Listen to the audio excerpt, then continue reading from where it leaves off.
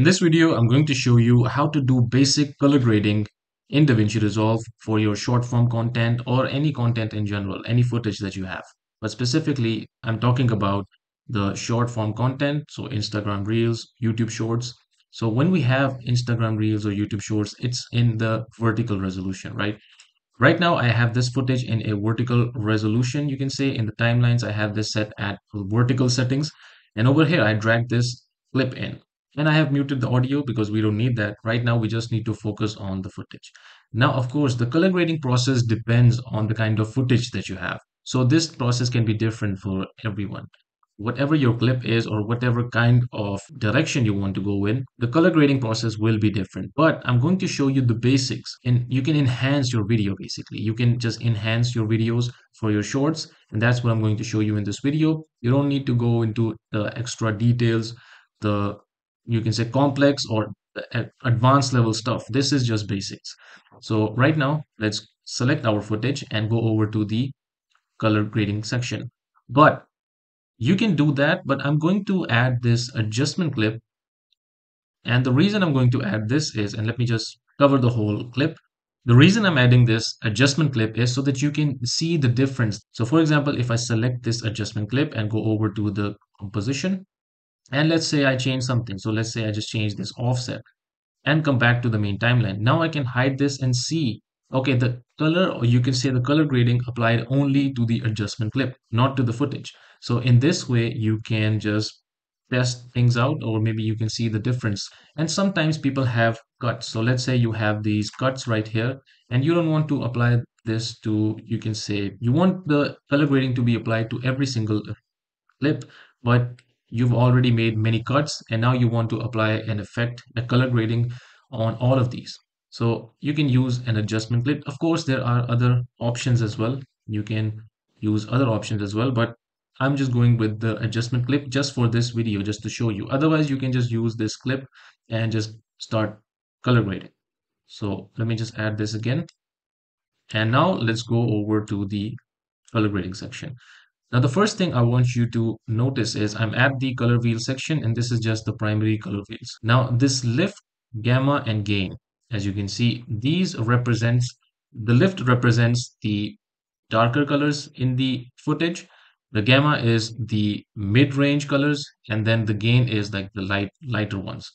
And offset is the overall you can say all of these. All of these are basically offset so what i'm going to do right here and by the way these scopes right here as you can see these scopes right here these are the color ranges. So you can see where your color ranges are when you are editing right here.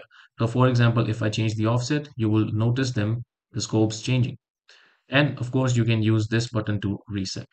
Now there are different options. You can use a waveform you can use vectorscope you can use histogram you can use all of these but i'm going to stick with this one parade okay so first thing is about the clip right now as i told you that the clip i have is is a, you can say more bright overall so i want to lower the brightness you can say or at least make it look better than before so what I can do here is go over to the lift and just decrease this.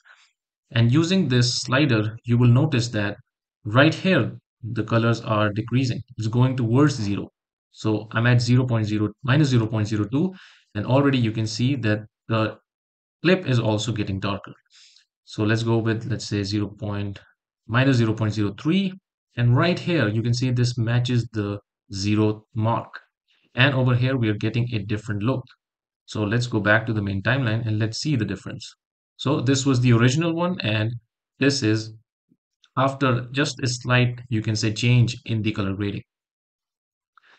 Now let's go over to the gain and this will change the bright brighter colors for us. So for example, these ones right here, this will change this for us. So let's say I want to lower this a little bit also. So you can see that this is getting lower, but let's not go too low let's just stick with 0.98 now of course depending on your clip if you're going for a brighter you can say color you can increase this so for example just to show you if i increase this you will notice that okay the whiter colors are getting more brighter so you can do that if you want more brightness so and you can just see the scope. So for example, if I go too bright, you will see them getting out of the scopes and we don't want that. We don't want too much and you will already see like whatever you see right here is being represented on your footage. So this is just the guide of what's happening right here. So that's why I'm focusing on this part. But of course, you can just see how you want the look to be and just make changes accordingly. So let's go a little bit dark right here. So maybe add 0.98. This look this works for me. And this gamma right here, these are the mid ranges. So you will notice this mid range, this mid range changing. So if I change this, you will see that, okay, the mid ranges are increasing, decreasing. So right now, since I'm going for a darker look overall, I'm just going with minus 0.01. But of course, for this one, it wasn't necessary to change this, but you can just work with the lift and the gain to at least a crisp look for your whites and your blacks, you can say. Now, overall in the offset, if I increase this, this will change the overall, you can say colors for the brightness, and then you can get more darker from this as well, but let's just keep this at default. Now, the next thing I want to show you is the saturation. So for example, you want to go eh, for a black and white, you can just change this to zero and you will see that this is getting black and white now. Or you can just increase this if you want more colorful, but this will, you, you can see that this will make things look more weirder. So let's keep this slightly lower. So maybe at 45. Okay, so 45, this, this works for me. And you will notice that right here, it is giving a gap now for the brightness. So maybe we went too low on the saturation. You can increase this with gain maybe. So let's say at 0.99, this looks okay. All right, so next thing is that you can see right here in this panel that we have this one layer and whatever we applied was affected and is basically affected using this node right here. So if I right click, I can add another node. You can go over to add nodes and add, click on this add serial and this will create another node. Now this is good if you want to maybe let's say edit a different part of the video. So for example, I want to increase the I want to keep the brightness of the face, but I want to hide or you can say lower the color in the background. So what I can do is go over to this masking right here, masking window, and click on any of these. So right now I want a an ellipse, so I can just click on ellipse. You can also use rectangle for your whatever your footage is, with whatever part of your footage you want to edit.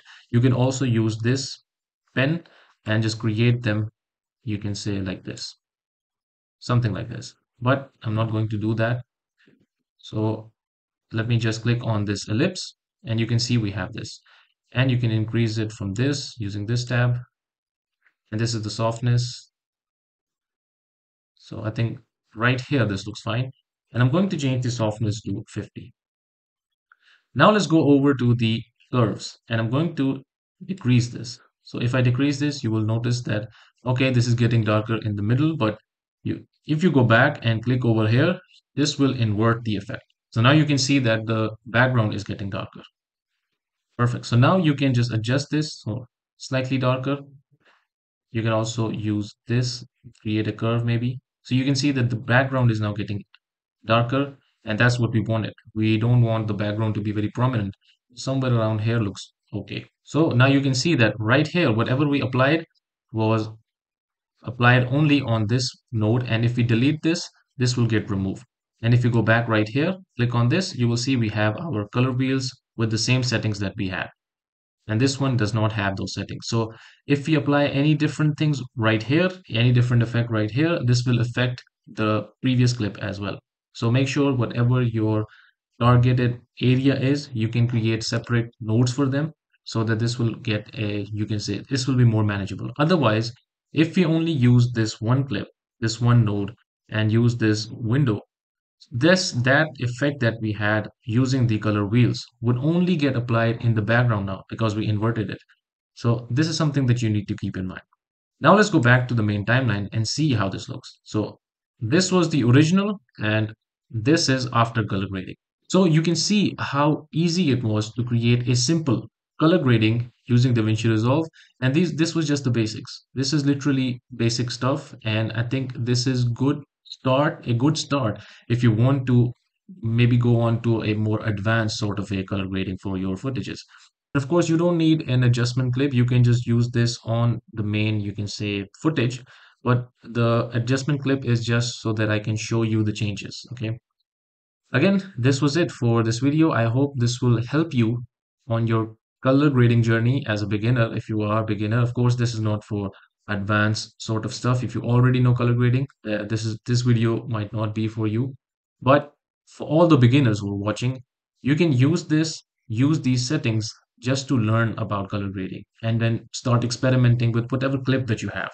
And then you can build on and just make achieve your desired outlook for your footage.